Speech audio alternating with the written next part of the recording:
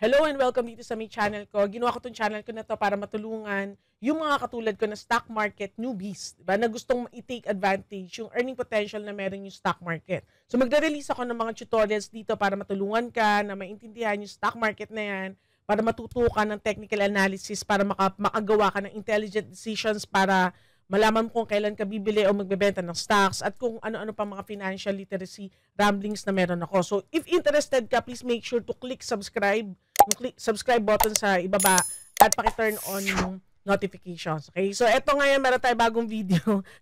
Tuloy na tayo. Meron tayong bagong video ngayon. So, sabi ko nga, maganda na mag-invest ka sa stock. So, kung kagaya kita na stock market newbie na nag- nag-uumpisa pa lang, syempre, ma'am, alam ko na yan. Sige. Eh, kaya lang, so yung, yung past na, na video natin, di ba? So, binigay ko sa inyo yung mga mga brokers na pwede, kung saan pwede kang mag, mag, mag, mag-open ng account, di ba? So, ang susunod dyan, sa, sa, sa path natin, sa journey natin towards stock market, ano ba yon kaalaman, di ba?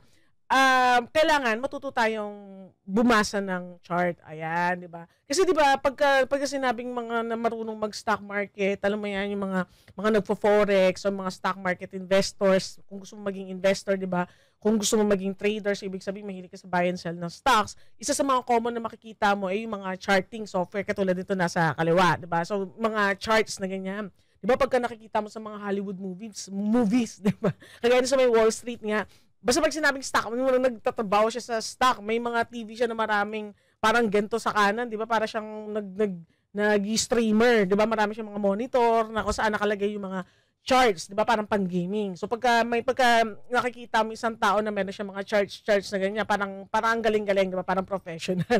so actually kasi yung mga chart charts na yan, yan ang isang essential tool talaga. Pagka gusto mo matutong mag-invest or gusto mo mag-trade o gusto mong mat- matutong kumita using yung stock market.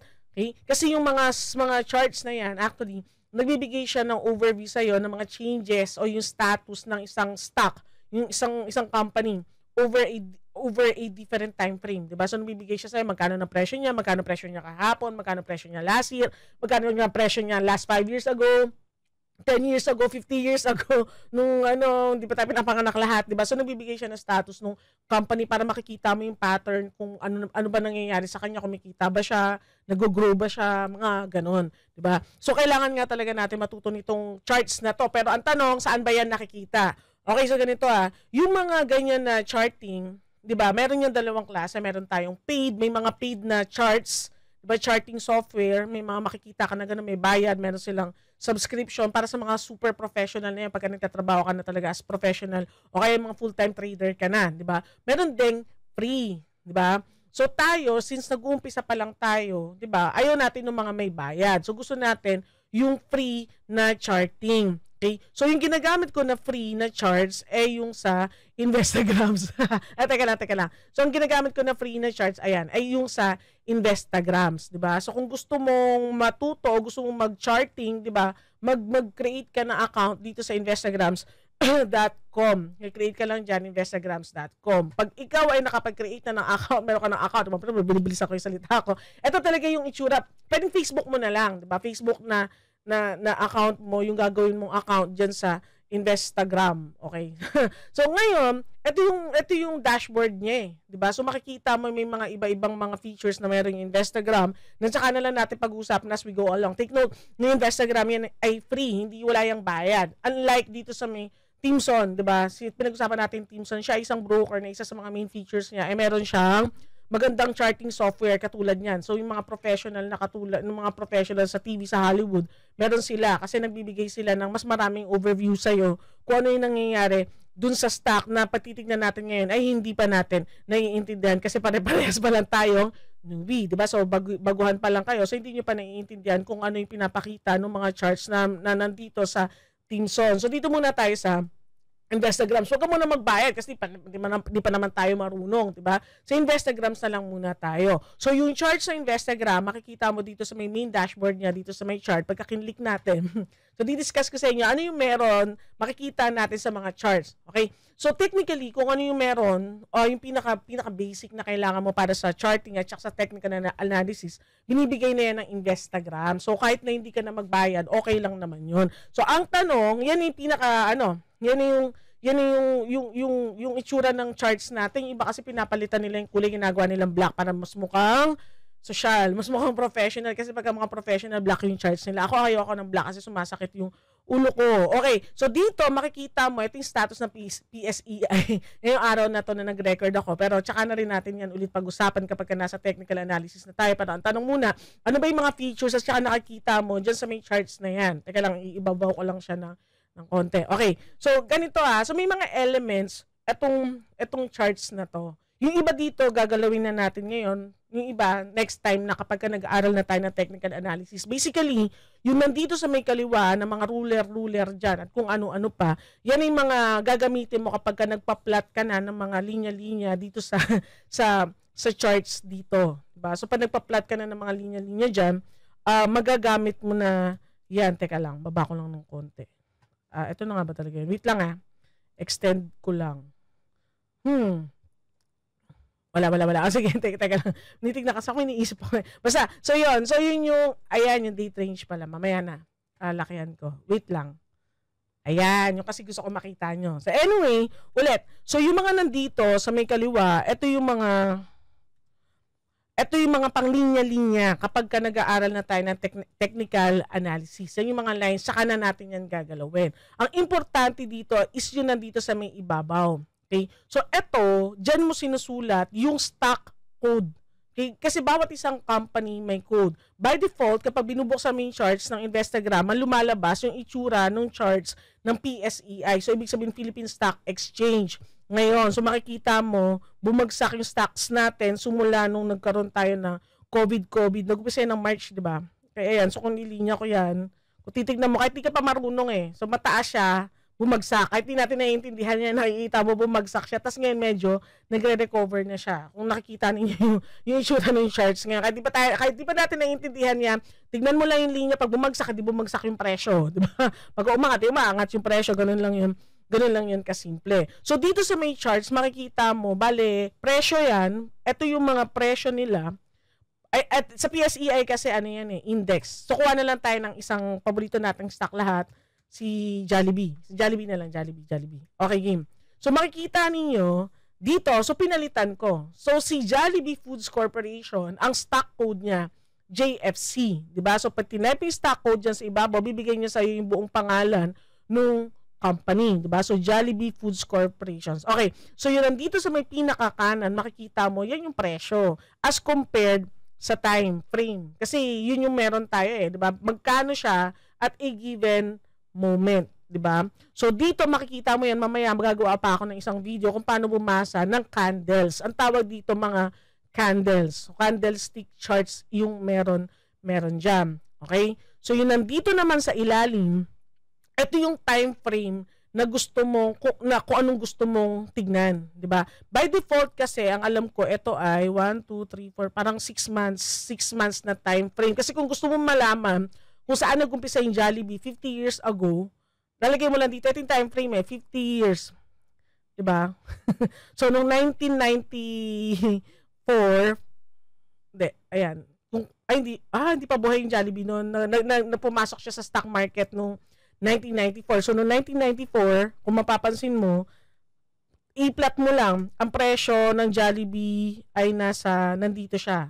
So, between 40 and, di ko kasi ano eh, nakapatong yung, ano basta nandiyan siya, so malamang 20 pesos yan, whatever, di ba? Okay? Tapos ngayon, ang presyo niya, ang Jollibee, ay eto. So, nasa 134 tayo, di ba? So, yun. so, uh, mula 1994, ilang years yun?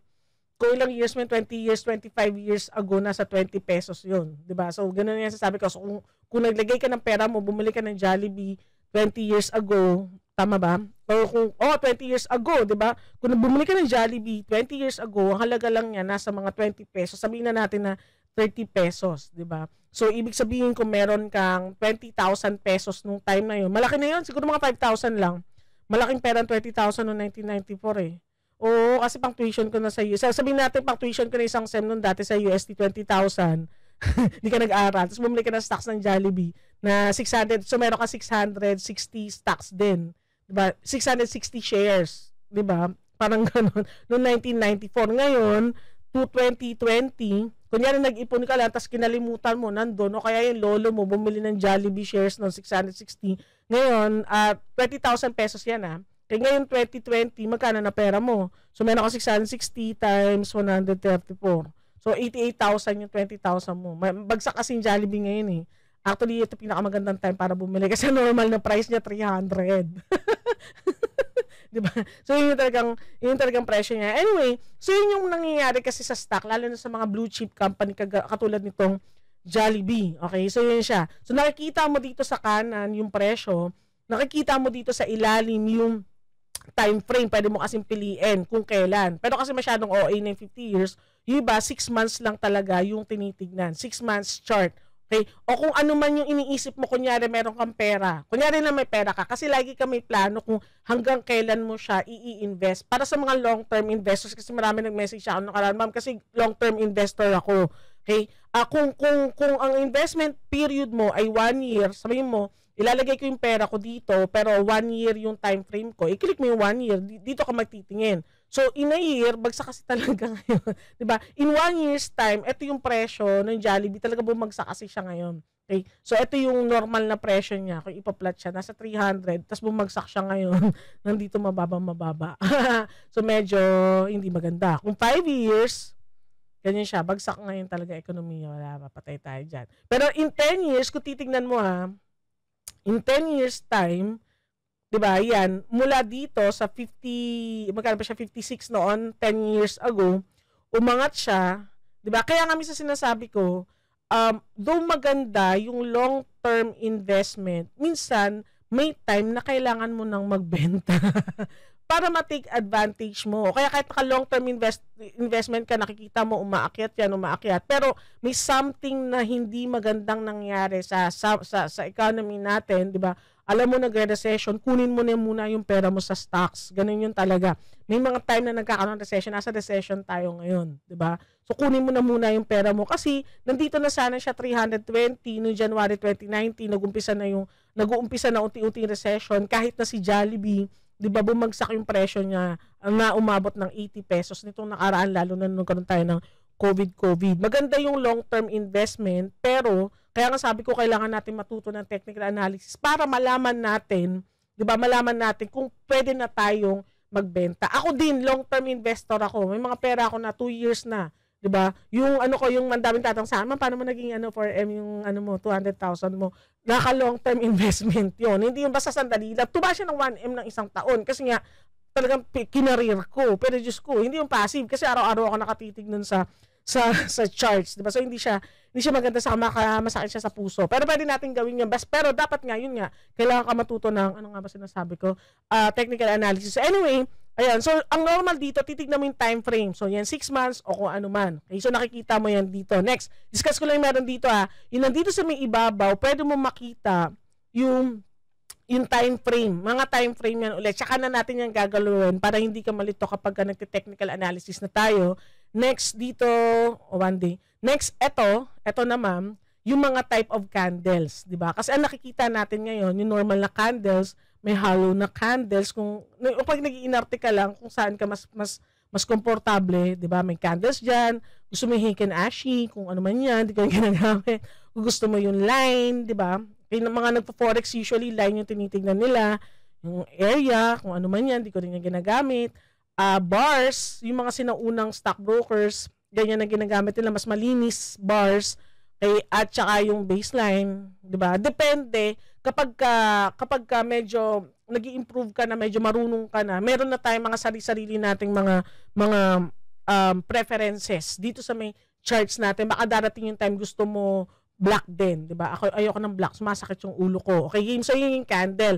Next, uh, wag na muna yan. Ito, yung indicators. Okay, so click ko lang tong indicators. Kaya pinapakita ko maganda yung charts ng Instagram kasi may mga indicators siya dito. Ano yung indicators?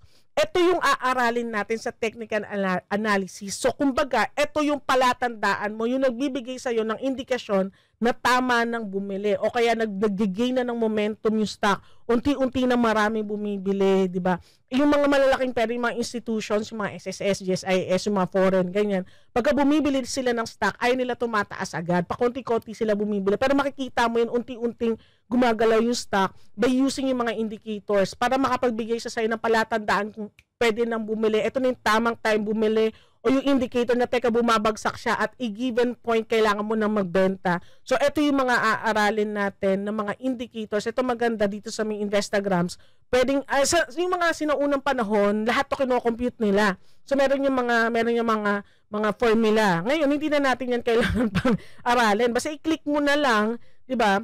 uh, i-click mo na kagaya nito mga MA, mga paborito nila na ano, paboritong paborito ng iba na na indicator yung mga moving averages, pwede i-click mo lang tapos nagko-compute na siya mag-isa. So may mga formula yan. Okay, at ito gagalawin natin yung mga indicators na yan as we go along sa mga sa technical analysis na mga mga lectures natin, ng mga tutorials ko na gagawin ko sa mga susunod na na araw. Okay, tapos um okay, wag na nating indicator templates sa na yan. Okay, yung mga support and resistance lines Okay? Support, resistance, ituturo ko yan sa inyo sa mga susunod na, na video. Support and resistance, importante yan. Yung mga 52 weeks high and low, para mga palatandaan nyo, tumaas siya ng mga history pattern. Okay? So makikita mo rin yan dito sa may chart sa Instagram. Maganda. Fibonacci, yan. Maganda rin yan, di ba? Okay. Etong mga to sa akin nakiklik ko. Sa iyo baka hindi mo pa yan nakiklik kasi kailangan mong mag-share-share ng mga something-something sa Facebook mo para ma-activate siya ng Instagram. At saka itong multiple layout. Okay? So yung multiple layout, yan na yung medyo maganda kapag ka, kunyari medyo marami-rami ka ng stock na gusto mo titigtitigan, kunyari JFC, yung ano ko ngayon, yung stock ko na binili ko ng karaan, na binabili ko ng piso, yee 229. Mula ako madami na ng araan eh.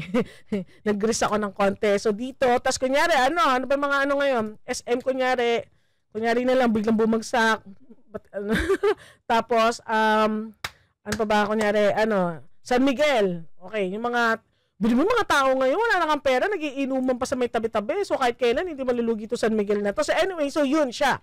So pwede kang tumingin ng apat kapag ka marunong ka na. Di ba? So lalabas yung mga yan, okay? So actually, um, dito, pagka, no, di ko lang maintindihan sa Instagrams ngayon, sa ibabaw, meron yan ticker tape.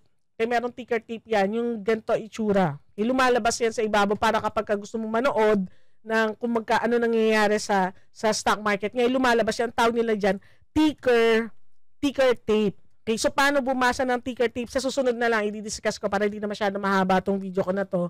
Um, ang point ko lang ay um, tawag nito, ang isa sa mga pinakamagandang charting, charting na software, charting platform na pwede mong gamitin ngayon for free ay yung sa Investagrams. Okay? At sa lahat ng mga susunod na lecture natin, kapag ka nagturo na ako sa inyo ng technical analysis, tinuro ko sa inyo yung resistance, yung support, ano ba, paano ba bumasa ng candles, ano ba yung candles na yan, ano ba yung mga MAs, yung mga moving averages, at kung ano-ano pa na yan. Pagka tinuro ko yan sa inyo, ang gagamitin natin, yung Investagrams para para free. Okay? So, ganoon, um, para matuto ka ng stocks, ganun ulit, para matuto ka ng stocks, isa sa mga maganda tignan, matututunan natin tignan, at kailangan natin matutunang tignan, ay yung mga charts ng mga stocks na yan, mga ng stock market, ng mga may mga stock code, ng mga companies na gusto mo makita, nakikita mo diyan para makuta, makita mo yung trend nung presyo bumagsak ba siya, tumaas siya uh, in a given moment of time, unti-unti ba siya tumataas o umaangat ba, o gusto ko puro angat eh, o bumababa ba yung stock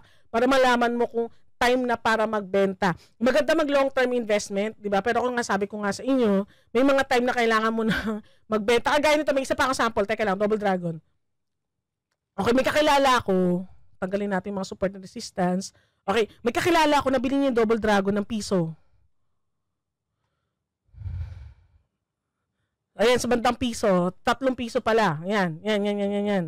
So, dumat, nung, nung, yung Double Dragon, company ni Injap Sia, kung naalala niyo. Si Injap Sia, siya yung may-ari ng Mang Inasal. Okay.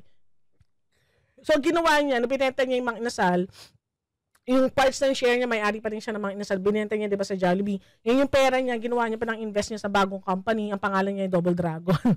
di ba, yung mga tao para na hype na hype sa kanya noon eh. Kasi nga, um, tawag nito, syempre, di ba, parang ang yaman niya. Di ba, siya pinakabatang bilyonaryo kasi binili nga ng Jollibee yung yung mang inasal. Kasi ang laki ng chicken nun. Ngayon maliit na, na yung chicken sa mang inasal. Kasi kasing laki na lang ng chicken joy di ba? Tong Jollibee na to pasaway. Tapos ang damot na nila sa chicken oil di ba?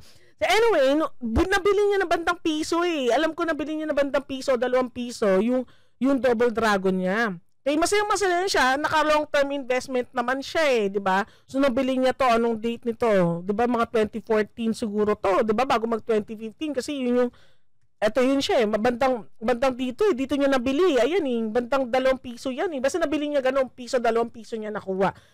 Yung dalawang piso, over, Nabili niya 2014, 'di ba? Basta nung nag nag nag nag-offer yung Double Dragon kasi nga uh, hype na hype kay Injap Sia, 'di ba? Nagbibili sila.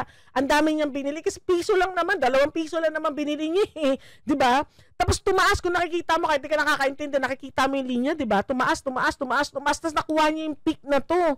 Ayan oh peak, magkano presyo no? Sabihin natin 80 pesos. Sabihin na natin kasi hindi ko maano eh, 'di ba? So nagkaroon siya ng peak na 80 pesos, nabili niya ng piso. Sabihin na natin dalawang piso, huwag natin siya masyadong ano, huwag natin siya masyadong uh, kaingitan. So dalawang piso niya nabili, 'di ba? Nung umabot ng 80, hindi niya binenta kasi inisip niya tataas pa lalo. 'Di ba? Kaya na minsan may indicator ito na may, may pagka nasa technical analysis na makikita mo yan yung, yung sobrang tumaas na siya tapos biglang nagkaroon ng massive selling. Kailangan mo ng medyo dito, ay, nas bumaba na, tapos nakita mo yung trend line, ayun, kahit ganito lang ha, bumaba. Tapos bumawi ng konti sa mga tao, hindi makapaniwala, ay, bumaba, bili tayo, bumaba, tatabalik yan to, tataas. Pagtaas ng gano'n na tumuloy-tuloy na, di ba? Ayun, tapos tumuloy-tuloy na hanggang ngayon, magkano na lang siya, sabihin na natin, nasa 16 pesos. Di ba? Kasi, nag-ready siya. Magkano na naman yan? So, sabihin natin, nakabili siya ng, kung dalawang piso yun, bumili siya ng 100 shares, two, uh, teka lang, 100 times dalawang piso, putik, 200 pesos? Ano sakit mo sa puso? Sige na lang, meron siya 10,000 piso, 10,000 pesos. Bumili siya, nakabi, malaking pera nilagay niya dyan, promise, mayaman yun eh. So, yung 10,000 pesos niya, sabihin na natin may 10,000 ka nun, uh, bumili ka ng dalawang piso, so meron siya 5,000 shares. Kunyari na meron siya 5,000 shares. Noong 2014, noong 2014, 'di ba? Nung nandito na peak na peak, sabi ko, benta na. Ayaw. Ay, kasi tataas pa daw, tapos baba na, din niya na binenta kasi iniisip niya ba, balik ng 80. So, nung time na to na nag-peak siya, o kahit nandito na lang, sana nagbenta siya ng mga 65 na lang. diba? Sabi, 65 na lang kasi nakita mo na bumabagsak na. Pag bumagsak ng ganyan yan, lalabo niya ng konti, pero tuloy-tuloy na yung babagsak. Ganyan din, may papakita pa sa ako sa isang stock, ganyan din. Isa pa ako. Ay, ako. So, anyway, so, magkano? So, meron siya 5,000 shares, so nag-80, may siya 5,000 shares, yung 10,000 niya, dapat 400,000 na. Hindi 10,000 yung nilagay niya dyan. Malaki. Hundreds of thousands, mga 5 mga million. Magkano? Ang saya-saya, parang feeling niya parang forever na siya mayaman. Bumagsak, di 16 na lang, pero malaki pa rin. Galing sa 2 piso. Pero ibig sabihin, ang point ko lang, kapag ka long-term investor ka, minsan may time. Alam mo, nakikita mo, hype na hype na yung stock mo. Aantayin mo tong point na to aantayin mo na siya kasi magse-sell off na yan. Kasi yung mga malaking investors, ayan, uh, ano na tawag ko dyan, needle of death, di ba? Parang kumbaga sa IT, ping of death. Ayan yung needle of death. Pag nagkaroon ng needle of death niya, ng massive sell-off, ibig sabihin gusto nila lahat bumili pataas. Sabi yung mga malaking investors, nagbenta na sila, ay sumabay ka na rin. Di ba? Kailangan mo na ibenta yan. Darating ng time, magkakaroon ng ganyan sa mga stocks mo. Naranasan ko yan, kumita ko ng ayoko makakidnap niyo ako eh. So basta nakita ko rin yan, pero nagbenta na ako dito, gum- ganyan niya palagi. Maghahanap tayo ng maraming stocks na ganyan itsura. Yung taas tas parang hindi mo makapaniwala, parang napaka-exponential nung akyat. Yung ganyan, yung paka-imposible. May mga ganyan na akyat. Tapos bigla magkakaroon ng needle of death. Magbenta ka na dito.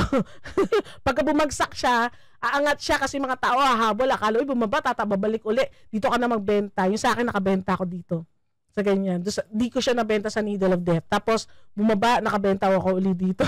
Hindi ako makapaniwala. Buti na lang nabenta ko na bago siya bumaba ng pag ganun. Na nagagets niyo. So, ibig sabihin, pwede ako magkwento sa inyo ng, ng history ng isang stock based lang dyan sa pattern. Maraming kwento yan. Ganyan lang yan. Tapos maraming nahimatay, inatake sa puso. Lalo na kung hindi, ikaw yung dito bumili sa itaas. so anyway, so yun lang. Uh, ma, ma, ma, kwento ko muna kayo. Mahaba na naman ako. Dami-dami ko na naman sinasabi. Yung point ko lang, si Instagram, sa yung charting software na pwede mo gamitin to analyze yung mga stocks na gusto mong bilhin para makita mo yung mga presyo, makita mo yung history niya, at meron din mga indicators, indicators na pag-aaralan natin para sa technical analysis natin.